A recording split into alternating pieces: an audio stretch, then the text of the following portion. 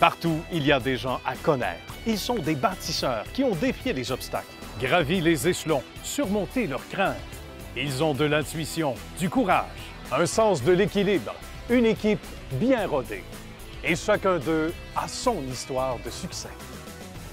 Bon vendredi matin à tous et bienvenue pour une autre page d'histoire de succès. Que de bonnes nouvelles. J'espère que vous êtes prêts à vivre et à entendre et à voir de bonnes nouvelles au cours des 30 prochaines minutes avec une fois de plus des gens inspirants. Directement du Roasters, tout près de l'ancien forum Plaza Alexis à Montréal. On vous souhaite la bienvenue.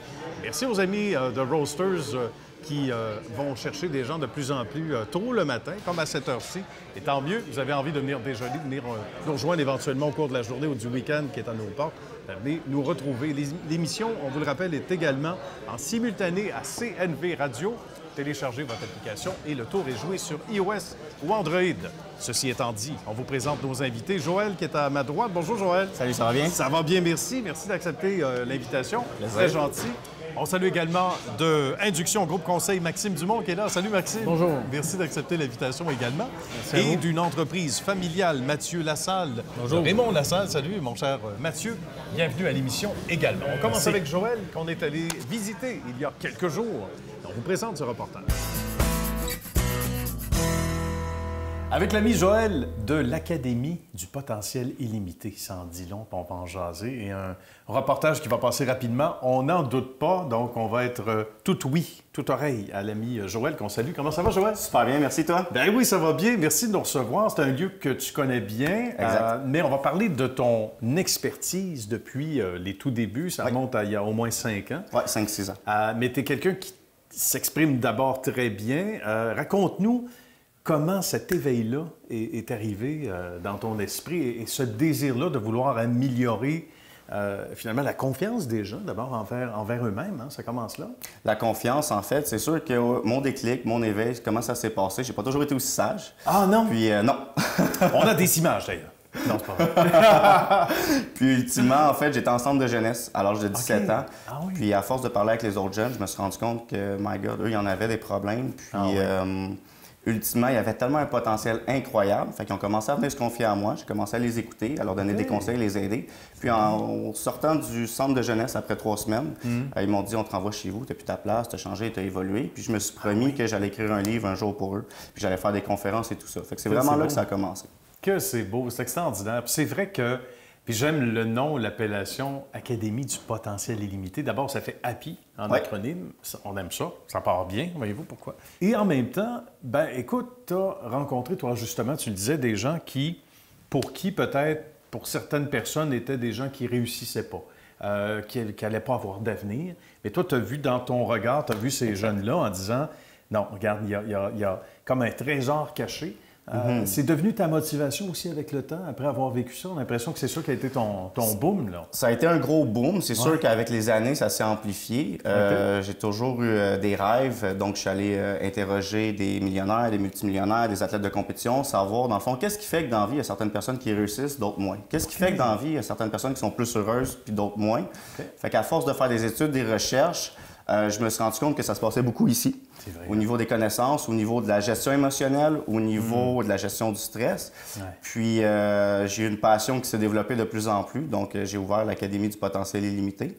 Puis euh, notre mission, définitivement, en mixant tout ça avec mon partenaire Philippe, c'est d'accompagner le plus d'individus possible à vraiment exister à leur plein potentiel, premièrement, à vibrer l'abondance à tous les niveaux, euh, à reprendre le pouvoir, la responsabilité de leur vie, à être inspirés, à connecter à leur inspiration profonde pour inspirer, mais surtout de rendre justice à la vie qu'ils méritent. Parce qu'ultimement, je crois que chaque individu, chaque être humain, au-delà des croyances, au-delà des possibilités, est capable d'accomplir de grandes choses. Quel est le dénominateur commun? Quand tu as dit tantôt, autant des athlètes, autant des millionnaires comme des gens qui, ont, qui, ont- qui ont- qui sont sans dessous, là, il y a un potentiel qu'on ne connaît pas. C'est quoi la première réponse que tu as? Parce qu'il y en a que c'est plus compliqué que d'autres, mais de façon générale, est-ce que justement, ça passe par l'esprit, peu importe le portefeuille qu'on a et, et la place qu'on a dans la société? Définitivement, je veux dire, selon moi, on s'entend que la place qu'on a dans la société, c'est une illusion. Peu importe où est-ce qu'on est, peu importe où est-ce qu'on, comment on est entouré, euh, tout le monde a un potentiel illimité, c'est définitif. Il suffit de faire l'introspection, de décider de vouloir accomplir quelque chose, de s'engager,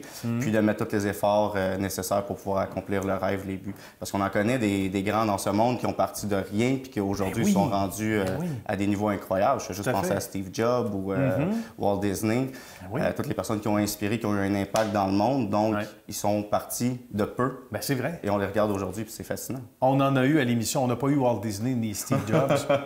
à quoi ressemble le portrait type de la clientèle? Ça doit être assez varié, là aussi. Exactement. Parce que tu vas des plus jeunes qui vont dire ben, Qu'est-ce que vous faites? Puis oui, on s'assoit. Euh, des plus âgés qui ont peut-être fait différentes carrières, puis là, c'est au mm-hmm. niveau professionnel ou peut-être même émotif. Euh, là aussi, est-ce qu'il y a un élément commun de tout ce beau monde-là? Euh, Aucunement. Non? Aucunement. On est vraiment, à l'Académie, on se base sur deux volets. Le volet personnel, donc on a un parcours académique d'évolution personnelle avec des cours spécifiques. On a des personnes de 17 ans jusqu'à 60 ans qui vont venir euh, assister à nos ah cours, donc c'est vraiment très varié. Bien. Et on a le volet entreprise aussi, donc ça peut être des petites PME ou des plus grosses entreprises qui désirent augmenter leur chiffre d'affaires, améliorer la communication avec les employés, puis vraiment consolider leur vie personnelle au travail. Donc, de faire en sorte qu'ils vont tout donner pour que leurs employés réussissent à atteindre aussi leurs rêves, ce qui va faire en sorte que la performance va être beaucoup plus élevée. Oui, j'imagine. Est-ce que tu, tu remarques qu'il y a un nouveau type de leadership aujourd'hui? Parce qu'on on le perçoit quand on est dans le monde des affaires, euh, peu importe dans quel secteur on, est. Euh, on remarque que c'est terminé le temps des patrons avec le, le fouet, puis il est à peu près temps, mais qui en va aussi, peu importe ce que les gens gagnent en termes de sous, euh, de l'esprit d'appartenance. On travaille beaucoup sur l'esprit d'appartenance. Tu dirais que tu le perçois, ça qu'on parle davantage de leader que de patron, surtout? Définitivement. C'est tangible. Puis selon moi, c'est ce qui fait exactement la différence. Quand on rentre dans une compagnie, on va jaser avec les employés, on jase avec le patron, on met le, plan de match en cause si on veut. Puis euh, ça se passe toujours super, super bien. Parce que si l'employé se sent reconnu, si l'employé se sent euh, valorisé, c'est sûr mhm. qu'il va se sentir plus heureux dans son travail, puis il va en faire plus. Puis ça ne sera pas une obligation, c'est parce que ça va être, ça va être tenté de le faire. Donc, c'est sûr qu'il y a des belles euh, transformations et des beaux changements qui se passent dans l'entreprise. Qu'est-ce qui t'a le plus surpris jusqu'à maintenant? Parce que l'avenir est dans le futur. Comme disait l'autre, il y a de belles années pour toi aussi et Philippe, qu'on salue. Euh, et c'est extraordinaire. Et c'est pas pour rien que vous faites histoire de succès. C'est que vous avez eu en si peu de temps, euh, mm-hmm. les amis, énormément de, succès. On voit que ça répond à un besoin puisque vous offrez. L'offre est assez unique, merci. Mais euh, justement, qu'est-ce qui t'a peut-être le plus agréablement surpris depuis tes débuts où tu t'es dit, hey, là, je pensais jamais atteindre ce niveau-là, ou un individu, ou un groupe en particulier? Beaucoup, beaucoup, beaucoup de choses. Les entreprises partir avec aucun employé était capable de faire des ventes en l'espace d'à peine un mois. Tout le monde vend à des niveaux ah incroyables. Ça, c'est au niveau de l'entreprise. Au niveau personnel, des gens que ça faisait 10 euh, ans qui travaillaient un sujet X, puis en l'espace d'à peine deux semaines, euh, libérés, transformés, changés. Euh, c'est sûr que ça me touche à chaque fois personnellement ben de faire comme « wow ». Ben oui. Qu'est-ce qui s'en vient au cours des prochains mois? Parce qu'il y, a des primeurs dont on ne peut pas parler, des scoops, mais évidemment, ça passe par l'expansion. Oui, définitivement. On a commencé à travailler de plus en plus avec des gens de Québec. C'est sûr que dans la vision, la France aussi, ça va s'en venir euh, éventuellement. On se déplace. Exactement. Il y a de l'action. Merci beaucoup, mon cher euh, Joël. C'était un plaisir. Merci à toute euh, l'équipe d'ailleurs chez vous. Puis au plaisir de se revoir éventuellement. Définitivement. Pour les autres pages éventuelles de succès de l'Académie. Merci encore une fois. Merci.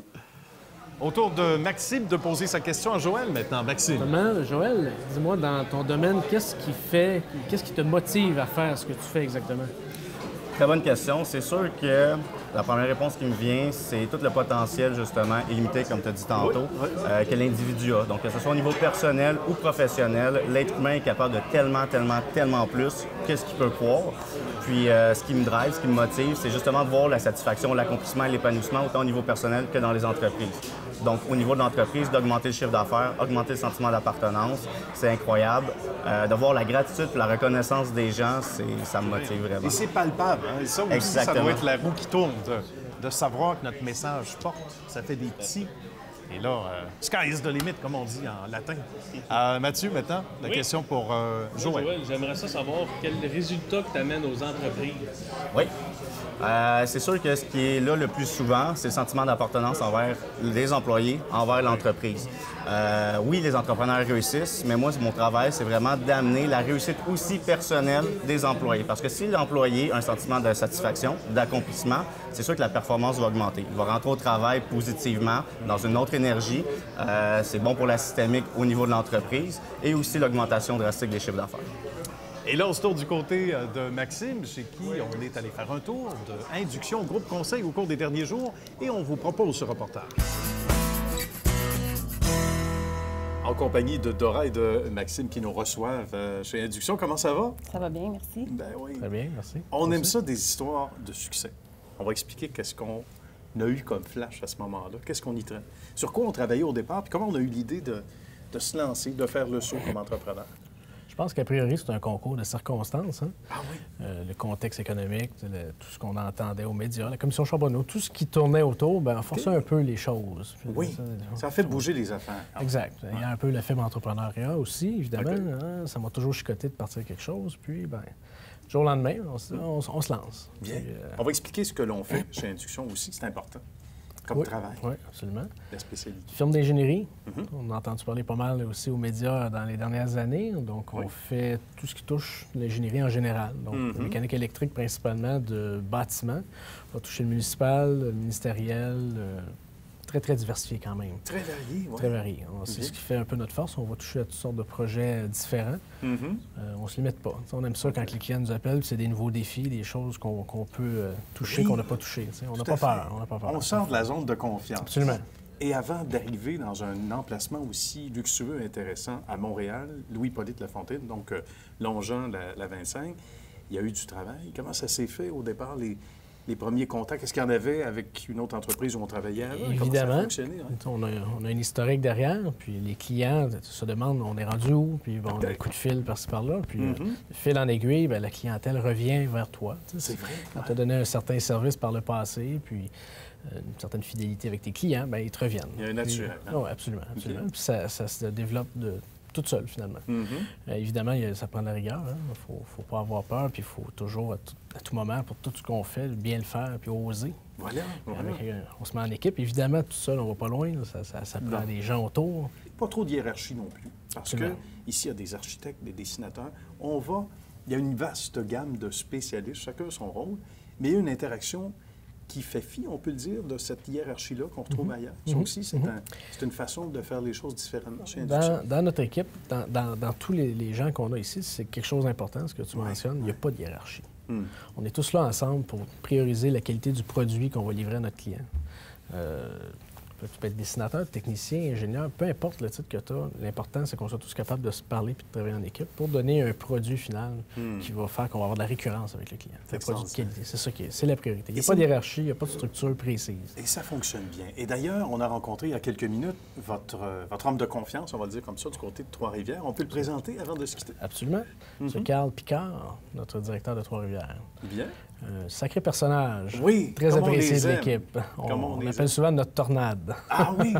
Il déplace de l'air, il, il sait où il s'en va. c'est- il est très apprécié dans l'équipe. C'est bon, mais c'est important d'avoir justement des gens de confiance euh, quand on prend de l'expansion un peu partout. Mais ça a été un grand plaisir. Merci beaucoup, pareillement. Maxime. Merci. Merci, Merci Dora. beaucoup. À la prochaine. On se revoit bientôt, c'est ça. Super, merci. Toujours le bienvenu. Merci. C'est avec grand bonheur maintenant, Maxime, euh, qu'on reçoit un, un personnage clé dans la belle famille euh, de l'entreprise, euh, qui est Carl. Bonjour, Carl.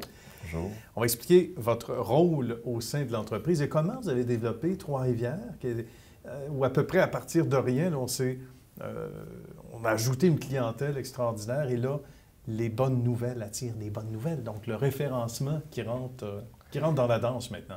J'étais- rendu à un point dans ma carrière où je voulais rele- relever des- un nouveau défi. OK. Mhm. Alors, euh, par hasard, j'ai rencontré Maxime dans une activité euh, sociale quelconque. Puis euh, finalement, on s'est aperçu qu'on avait des atomes crochus. Mhm. Et puis, euh, ça l'intéressait à avoir un pied à terre à Trois-Rivières. Alors, euh, j'ai dit, bon, ben, je vais faire partie de, de ton équipe. Alors, j'ai quitté ma grosse entreprise pour développer euh, le marché de Trois-Rivières. On voyait des possibilités de faire à Trois-Rivières. Et comme on a un petit cabinet, Mhm. ben, on savait que les petites municipalités, commissions scolaires alentour du Trois-Rivières métropolitain pourraient être intéressées à avoir une expertise spécialisée. la, proximité des gens est très importante. Alors, le client veut parler au boss. C'est sûr. Ou à la personne qui peut prendre la, décision immédiate. Tout à fait. Alors, c'est ce qu'on peut, nous autres, notre entreprise peut offrir facilement parce que c'est moi qui prends la décision. Oui, je tourne à gauche ou je tourne à droite. Ben voilà. On peut même tourner à droite sur un feu rouge.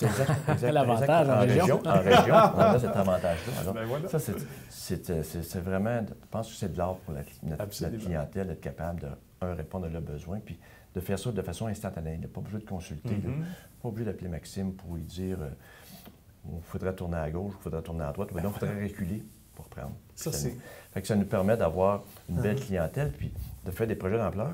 Euh, mm-hmm. À Trois-Rivières, on, fait la rénovation du Delta, qui est un projet de 24 millions. Bravo! Alors, euh, ça, c'est pas rien, non?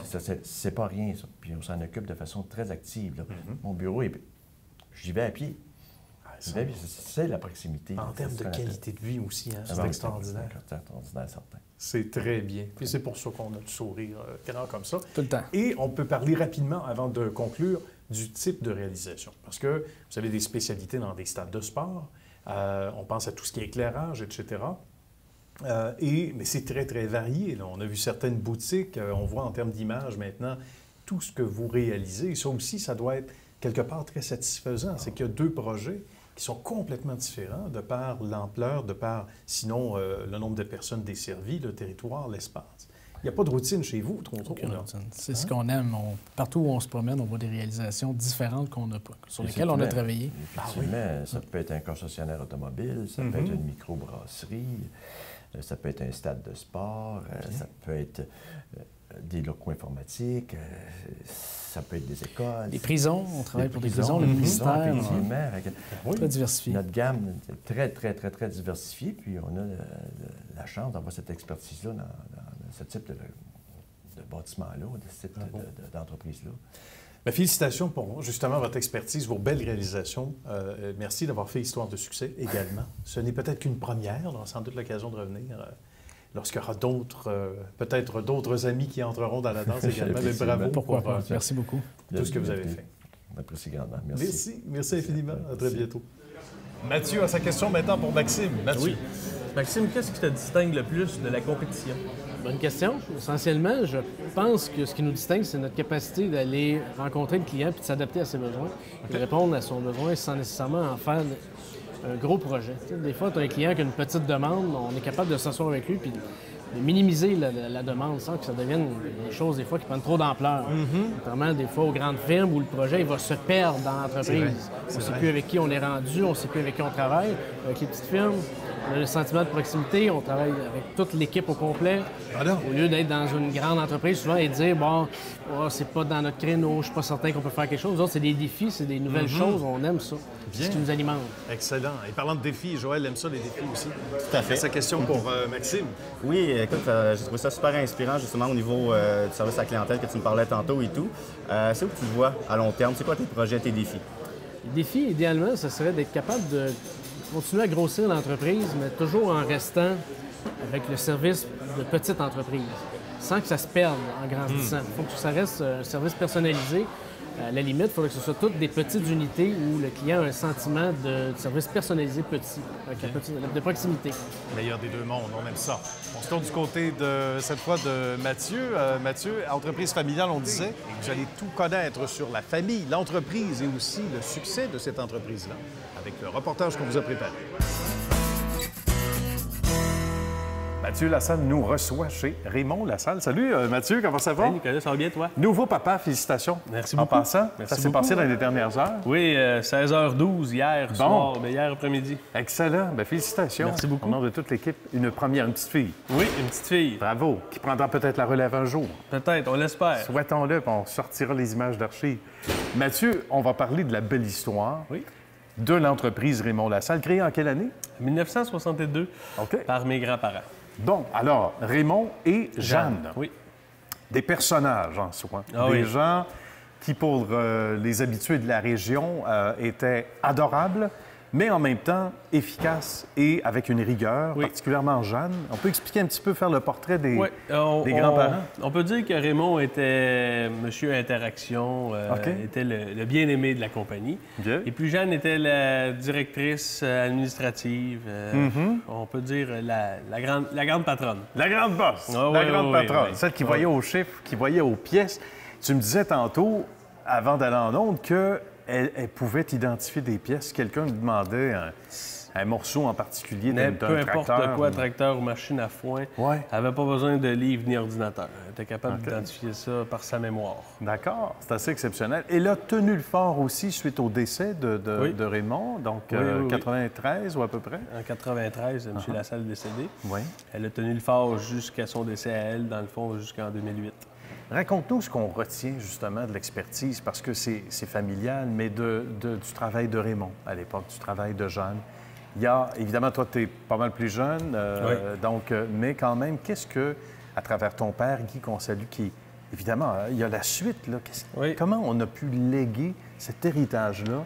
Euh, pas juste, pas un héritage euh, seulement pécunier ou quoi que ce soit, mais au niveau de, de, de- de l'âme de l'entreprise. Qu'est-ce qui, est- qu'est-ce qui est resté, tu dirais, des, des, euh, des grands-parents surtout? Écoutez, moi, ce que je vous dirais, ce qui reste de, de- de Jeanne et Raymond, Raymond, c'est un monsieur qui était très, très, très jovial. OK. Je ne l'ai pas connu à 100% parce que je suis né en 91, il est décédé en 93. Mais oui, c'est ça. C'est trop tôt. J'étais un petit peu trop jeune. Ouais. Mais c'était une personne très, très joviale et aimée par les autres. Et puis, Jeanne, je dirais pas dictatrice, parce que c'est- pas le bon mot, mais Plus autoritaire? oui, plus- ouais. autoritaire, très à l'ordre. Ouais. Mais ça prend ça très aussi. Certains Puis, diront. euh, les, les clients, ils l'aimaient ou ils l'aimaient pas. OK. Euh, Ah oui, elle pouvait retourner la un client, là. La plupart l'aimaient beaucoup. Oui, Parce oui. qu'elle connaissait ses affaires, OK. puis elle était à droite. Bien. Et puis, euh, ce qu'elle disait, c'était ça. C'est bon. C'était noir ou blanc. Mais à l'époque, Il y avait pas de gris. c'est pas tous les clients, et surtout dans un domaine qui est relié surtout aux hommes, qui acceptaient de se faire servir par une Euh, femme. C'est quand ça a commencé. et. C'était une des premières euh, dans le monde agri- de, de l'agricole à, à vendre de la machinerie. Et puis, euh, c'est pas tous les, les agriculteurs qui ont aimé ça au début. là. Madame, Mais euh, on l'imagine. Elle a fait son, son chemin, puis euh, ça- ça- on peut dire que ça a bien été, parce que l'entreprise grandit à toutes les années. Elle pouvait, elle, elle puis, pou- euh, elle pouvait tenir son bout aussi. Ah, hein. oui, oui. On disait Ah, puis elle avait hein. le caractère pour tenir Oui, son hein? bout. Ah oui. Si ça fait pas ici, ça fera ailleurs, monsieur. Ça, écoutez, Ça ressemblait à ça. euh, on peut dire que ça a marché. C'est bon, ça a marché. Alors, on retient un beau, un beau souvenir, évidemment, et un, euh, de, de- justement, de belles années, euh, toutes ces années-là, passées avec une expertise qui a su être bien léguée, on le disait. Là, on a les deux pieds dans le présent et dans le futur Oui. parce que c'est important. Donc, ici, depuis quelle année dans la bâtisse qu'on occupe? 94. Route, route 158, 94. Donc, aussi. 94. Euh, et c'est une, euh, c'est une bâtisse, tu dirais, où on a grandi par en dedans, parce qu'à un moment donné, on a besoin d'espace. Oui. On a combien de pièces en inventaire? Combien de, de jouets ou de pièces de jouets? On va, on va dire ça comme ça? euh, En unité, euh, c'est trop énorme, mais en volume monétaire, c'est aux Oui. alentours de 1,5 million. OK. Donc, chaque petit morceau, chaque petite pièce. Et comptabilisé, ça donne aux alentours de 1,5 million, euh, juste en pièces. Pas de machinerie comptée. C'est assez extraordinaire. Comment ça se passe une journée type pour Mathieu ici, par exemple? Mathieu qui est le patron, mais en même temps, il y a, il y a- il y a une fourmilière ici, il y a beaucoup de monde qui travaille. Euh, Ça ressemble à quoi un jour? Un jour J, un jour... euh, Ou sinon, C'est sûr que il y a des temps un petit peu plus, euh, on peut dire rock'n'roll, l'exemple. Le mois de mars, c'est un gros mois pour nous, c'est notre journée porte ouverte. OK. Fait qu'on invite tous nos clients ici. euh, on Parce que fait ça une reprend, journée escompte. Oui, c'est ça. le printemps arrive. On fait une journée escompte aux pièces de 5 à 40% d'escompte. OK, Il y a une petite roulette à tourner. euh, il y a tout le temps des petits tirages en fin de soirée. Et puis, le mois de mars, ah, mars-avril est très bon. Octobre-novembre est très bon parce que là, c'est les récoltes. Mais oui, mais oui. Et puis, tu as juin-juillet qui est plus pour les machines à foin. OK. Euh, les cultivateurs qui ont des vaches à lait et puis des animaux à bœuf. C'est Mais euh, une, journée, une journée ici bien remplie, là, euh, moi je rentre, je fais mes, mes paperasses, j'en ai Ouais. pour à peu près une demi-heure au début de settler ma journée, puis après ça, je vais au service. Ah oui? Au service, c'est ça qui fait notre force. C'est notre service qu'on peut donner aux, aux clients. Ouais. J'imagine que la clientèle, parce qu'avec l'espérance de vie aujourd'hui, tu as des gens plus âgés qui ont connu euh, le papa, le grand-papa, puis qui t'en parlent. Oui. Probablement. hein? Et t'as, t'as des gens que le grand-papa avait du Ford, Ah le papa oui. avait du New Holland. OK. Le jeune veut du New Holland. Ou sûr. non, des fois, le jeune, il, il veut faire un peu à sa tête. Fait Oh. que il dit, bon, ça prendrait peut-être une autre couleur. Ouais. Et là, c'est à moi et mes vendeurs de le ramener sur le droit chemin. Oui, c'est ça. Puis dis, Exactement. tradition familiale. Mais sans blague, qu'est-ce qui te rend le plus fier? Parce que visiblement, tu es, heureux, tu as l'air Oui. comme un poisson dans l'eau, puis ça paraît. Oui. Euh, c'est pas tout le monde. Je veux dire, tu nais dans, dans- dans une famille qui a une entreprise. Tu pas obligé d'aimer ça. Toi, tu as aimé ça? Non, moi, j'ai adoré ça. J'aime la vente. J'aime, parler aux clients. J'aime, donner du bon service. Hmm. Moi, si un client m'appelle pour se plaindre, je vais tout faire pour que ce client-là, 24 heures après, soit le plus heureux au monde. Oui, hein? C'est ça que j'aime. J'aime discuter, j'aime jaser. Et puis, j'ai une belle gang autour de moi. C'est important aussi. C'est toujours plus facile en plus quand tu as une belle gang. ouais. Puis, euh, j'ai vraiment, vraiment une belle équipe autour de Mm. moi. Euh, J'ai, je vous dirais, j'ai j'ai plus de faiblesse. C'est bon. J'ai plus de faiblesse. On aime ça. Faudrait qu'elle soit un petit peu plus grande parce qu'on a beaucoup, beaucoup, beaucoup d'ouvrages. OK. Mais là, euh, on a des projets, tu sais, d'agrandir en arrière. Oui, Euh, c'est ça. Nos esprits nous ont dit ça. Un jour, peut-être, on, va, On travaillera là-dessus. on, va, on va agrandir. On viendra nous voir. euh, on viendra euh, te Ça va me voir faire plaisir et de vous voir recevoir. toute l'équipe dans cette nouvelle partie. Ben, merci beaucoup. Bravo. Merci Bel vous. héritage. Puis à bientôt. Merci à toute l'équipe également. Euh, À la Merci. prochaine, Mathieu. Merci. On demande à Joël maintenant de poser sa question à Mathieu. Oui, justement, ma question, c'était c'est quoi, ta- c'est quoi qui t'a motivé, qui t'a inspiré à faire ce que tu fais? Oui, écoute, euh, c'est sûr que j'ai tombé jeune euh, dans le monde agricole. Hein? Oui. Puis vu qu'on est une entreprise familiale, ben, j'ai toujours aimé ça, les, les- les tracteurs puis les, les grosses bébelles, on peut dire. Et puis mon père m'a incité à, à venir prendre la relève du garage. Euh, J'aime ça gérer aussi. J'aime la, la gestion d'employés, de personnel, euh, la gestion d'un commerce. Mais euh, ma- ce que j'aime le plus vraiment, c'est donner le service à mes clients. C'est vraiment ce qui est important, puis ce c'est ça qui est important aussi au niveau de l'entreprise, c'est le service à notre clientèle. Parce que c'est c'est familial, puis on veut que le client sente qu'il est dans notre famille. C'est bien ça. Belle explication. Puis en même temps, c'est un dénominateur commun, ça. hein. Quand les ventes fonctionnent bien, il y en a partout. La Oui. vente et du service, c'est important. Voilà. Mathieu, euh, maintenant, euh, c'est-à-dire une question qui va se faire poser par Maxime à son tour. Mathieu, dis-moi, contrairement à Induction, nous qui a été fondé de zéro, tu es, dans l'entreprise familiale, tu, tu- tu te ramasses avec ce gros bateau-là. Tu y vois-tu quand même un, un potentiel de croissance future, d'expansion et tout ça? Oui, c'est sûr qu'après euh, les années passent, il y a moins de cultivateurs qu'il y a, mais il y a plus de gros. OK. Les cultivateurs sont plus gros. Les petits disparaissent de fur et à mesure après. Parce qu'il y a eu des fusions, euh, c'est Ouais, ça? des fusions, des achats? rachats, le, prix des machines, le prix des terres, le prix des semences augmente à toutes les années.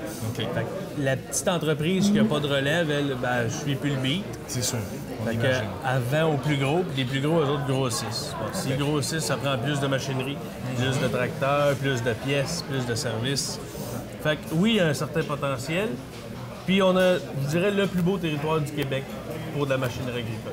Que, euh, le potentiel est à développer encore, même qu'un jour, il faudrait agrandir tellement qu'il y a un bon potentiel. Parlez-moi de Ouais. ça, des beaux défis comme ça. On va euh, se quitter, malheureusement, parce que toute bonne chose a une fin, mais on ne le fera pas sans répéter vos sites web respectifs. D'abord, Joël. Oui, ça va être l'Académie du potentiel illimité.com. Très bien, tout simplement. Maxime? Induction avec un K? Oui. Trait d'union GC pour groupeconseil.com. Tout simplement. Et Mathieu? www.raymondlassalle.com Bien. Ben, merci beaucoup d'avoir euh, pris euh, le temps de venir déjeuner avec nous ici au Roasters, rue Atwater, Plaza Lexignon à Montréal. Merci, messieurs. Bravo pour vos succès Merci à vous. respectifs. Merci à la belle équipe technique et à vous, chers amis, d'avoir été là. On se retrouve la semaine prochaine.